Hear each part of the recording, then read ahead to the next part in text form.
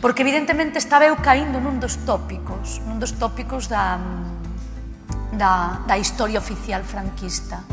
Non de que moitas das cousas que se di que fixo o franquismo en realidade eran pelexas familiares e cousas da casa, cousas privadas e que algúns aproveitaron non aproveitaron o golpe e o franquismo para arreglar asuntos privados e que, por tanto, non son públicos e que, como non son públicos, non son políticos.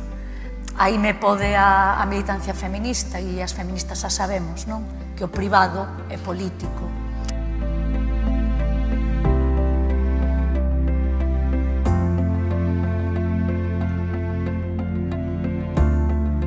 Todos os gastos da explotación se xestionaban os recursos públicos, o sea, as vacas, da explotación as poñía o Ministerio da Agricultura, a, a xestión, digamos, de todo poñía o Estado, incluso o personal eran funcionarios do Estado, é dicir, que moxías as vacas, as nóminas as pagaba o Estado.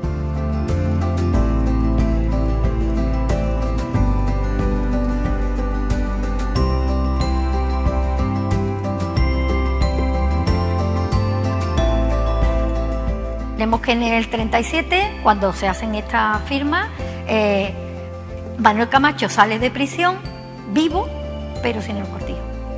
Eso es lo que dice la familia ahora con la que estamos hablando, ¿no? Que bueno, que ellos entienden que fue, bueno, una simulación y que simplemente le salvaron la vida por la entrega de esto, ¿no?